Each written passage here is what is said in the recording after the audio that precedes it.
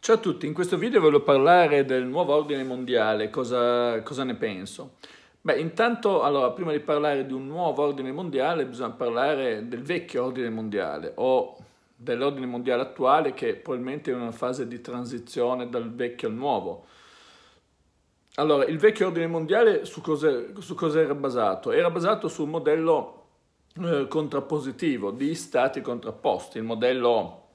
diciamo, eh, URSS, ex Unione Sovietica, contrapposto agli Stati Uniti. E c'erano quindi un modello, potremmo dire, bipolare, perché il mondo si articolava, diciamo, su questi due poli. E mh, all'interno, diciamo, di questi due poli vi erano degli stati sovrani, ovviamente, mh, degli stati sovrani e l'economia era un'economia molto più locale, cioè nel senso che eh, le, le produzioni avvenivano comunque in loco e il consumo spesso avveniva in loco, sicuramente con delle esportazioni, con delle importazioni, però molto più, molto più limitati. Inoltre vi erano diverse aziende ovviamente produttrici, spesso in competizione tra loro, quindi le varie aziende, eh, anche micro eh, aziende, diciamo, che producevano e commercializzavano in tutti i settori, quindi in ogni settore c'era questa diciamo, produzione eh, come dire, eh, centrata all'interno di un paese, quindi esisteva una macroeconomia ma anche una microeconomia, fatta ad esempio di piccoli imprenditori, piccoli commercianti che eh, eh producevano oppure distribuivano prodotti. Eh, ovviamente al di fuori di tutto, al di sopra di tutto, diciamo, e già eh, cominciavano a esistere delle eh, reti finanziarie, le varie banche nazionali o transnazionali. Però diciamo che eh, c'era anche qua una rigida suddivisione fondamentalmente. E il nuovo ordine mondiale inizia a generarsi invece in modo più concreto nel 1989 con eh, la caduta del muro di Berlino, in, in quando diciamo viene meno un, eh, l'antagonista che era l'URSS e quindi eh, il mondo tende, andare, tende a diventare da bipolare a monopolare ad egemonia americana. Diciamo che gli Stati Uniti diventano e parzialmente sono ancora oggi eh, leader diciamo, eh, a guida del mondo da un punto di vista economico, ma anche mh, mm, da un punto di vista militare. Le cose però poi iniziano un po' a cambiare perché mh, mm, con la caduta del muro di Berlino e la caduta delle contrapposizioni, eh, l'economia diciamo che tende a eh, sbilanciarsi un po' anche, nasce un terzo polo economico, diciamo che e un secondo polo economico molto importante che è il polo cinese e il polo cinese che mette anche in crisi l'egemonia, in crisi l'egemonia americana perché il polo cinese inizia a produrre e inizia diciamo ad uscire fuori allo scoperto eh, con sistemi di produzione molto più, molto più bassi. Però c'è un altro fatto che a livello storico influisce poi tantissimo proprio in quegli anni che è, è la nascita di, sono due i fatti fondamentali. La nascita eh, delle, di internet, lo sviluppo di internet, diciamo, ehm, e eh, i flussi migratori. I flussi migratori perché con eh, la caduta, diciamo così, del eh, muro di Berlino e quindi di un polo sovietico, eh, alcuni stati che prima erano controllati eh, diventano come dire, autonomi e iniziano a manifestarsi tutte le contrapposizioni interne. Eh, nella stessa Europa, ricordiamo, ci fu la guerra dei Balcani, eh, in Serbia, in Bosnia, che non, diciamo, al, alle porte dell'Italia, tra virgolette. E insomma vi furono periodi in cui eh, di destabilizzazione. E in questa destabilizzazione eh, acquisirono sempre più forza e sempre più potere eh, quello che potremmo chiamare eh, un gruppo di cosiddetti illuminati che poi alla fine sono eh, le persone delle dinastie familiari, tra cui Rothschild, i Rothschild, i Morgan eh, e altri, insomma, che eh, gestivano le banche e avevano, tra virgolette, in pugno molti stati, perché già da tempo questo accadeva. I, i Rothschild, ad esempio, eh, erano intervenuti con prestiti molto pesanti eh, a molti paesi e quindi in qualche modo eh, detenevano il debito di molti paesi e potevano controllarli da un punto di vista economico, cioè sarebbero stati in grado di provocare, volendo, il default, il fallimento di quel paese. Ora, tutto questo, eh, diciamo, tutto questo cosa comportò? Eh, comportò un, un, cambiamento, un cambiamento verso quello che adesso stiamo definendo nuovo ordine mondiale.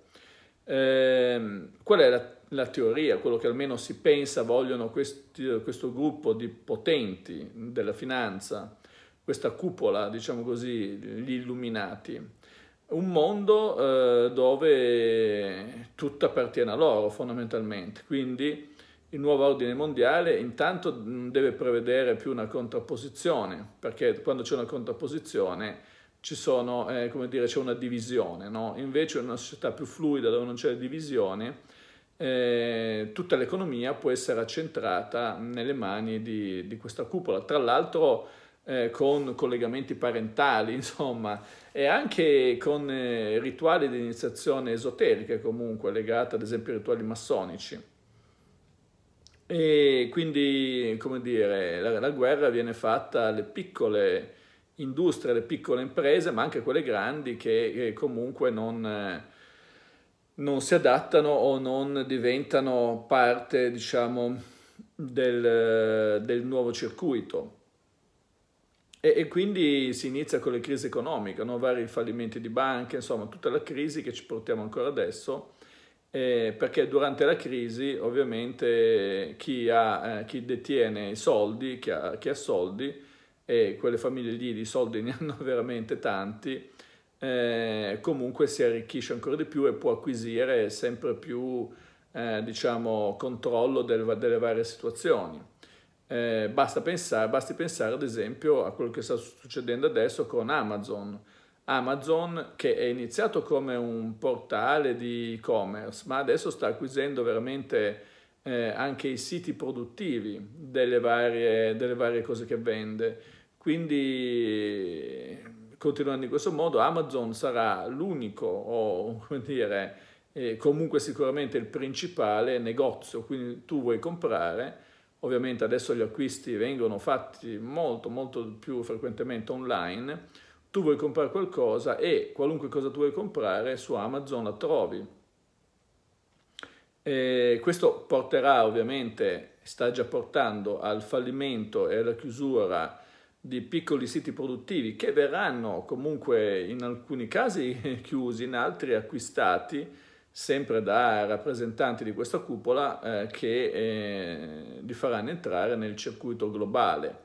Per cui eh, si avrà un, diciamo, un unico negozio fondamentalmente, un unico negozio,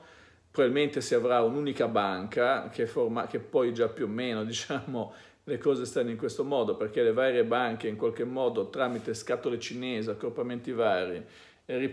riporteranno ad un'unica famiglia e eh, l'obiettivo probabilmente a lungo termine un unico, un unico Stato, un unico Stato in cui eh,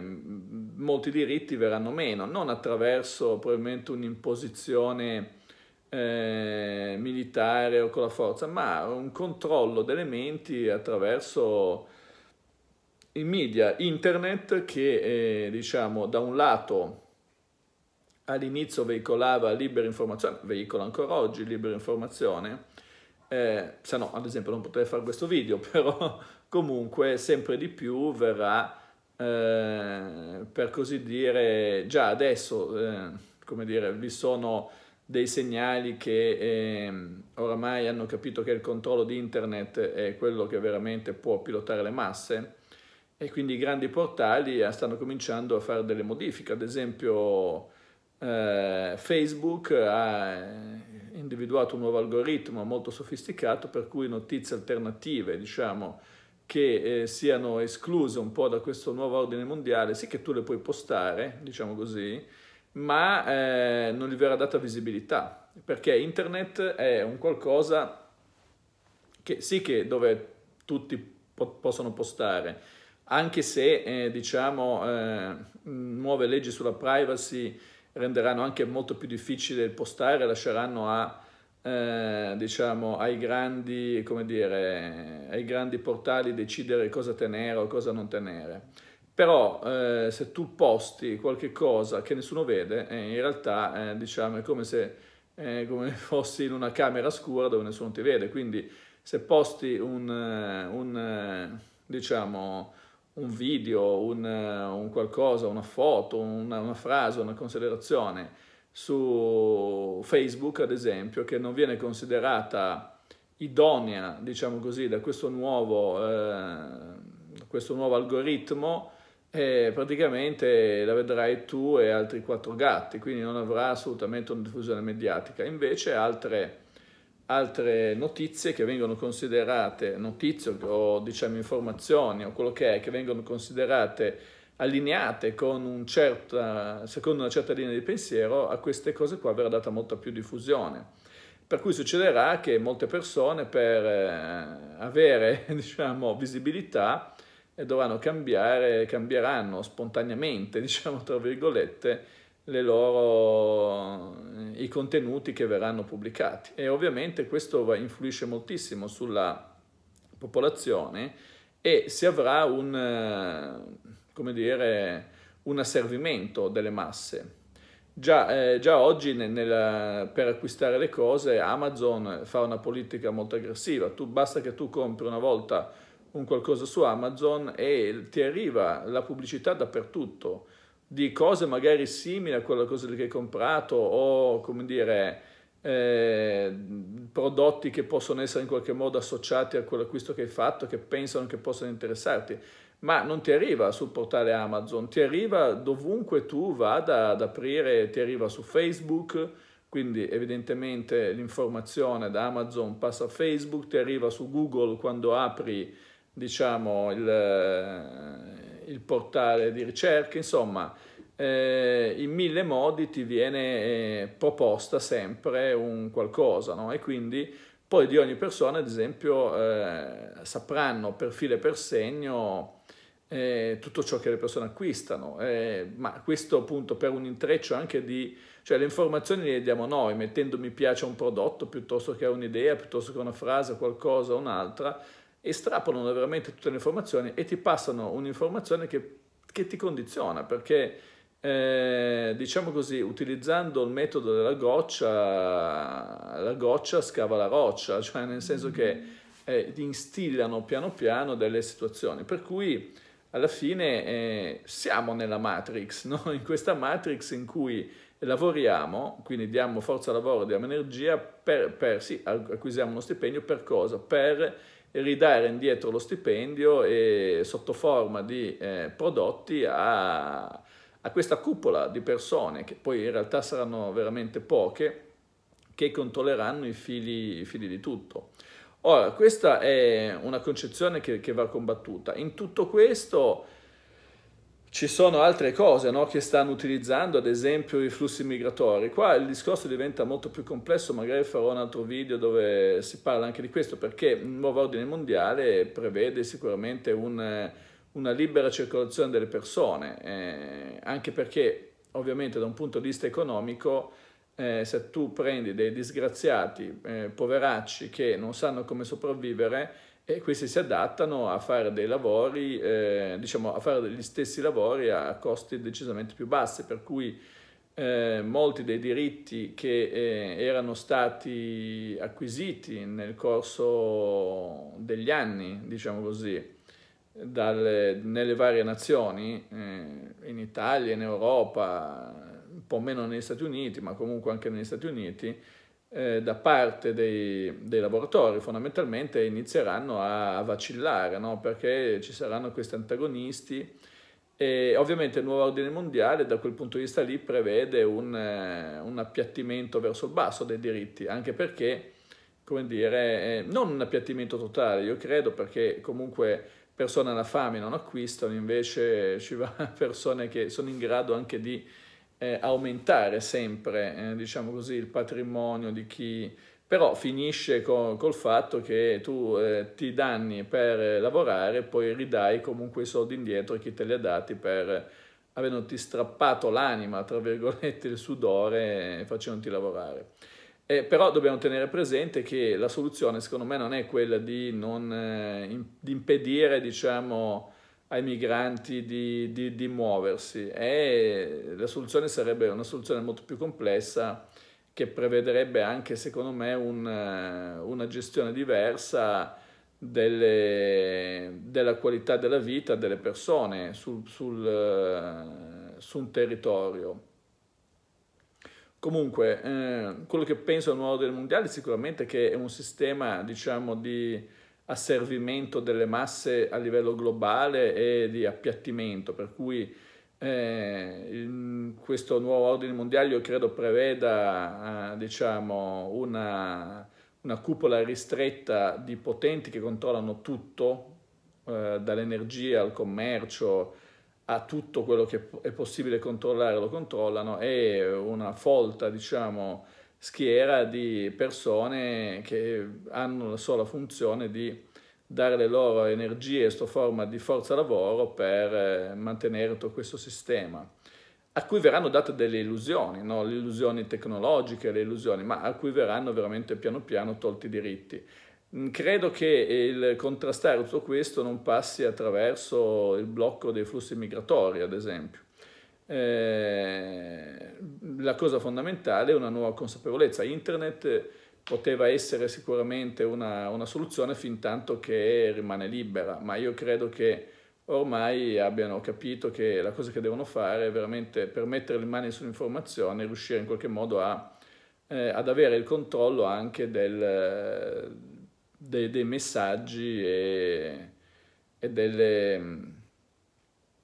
e, della diffusione delle informazioni su internet. Attualmente probabilmente non è ancora così, ma credo che ci siano delle, diciamo, delle,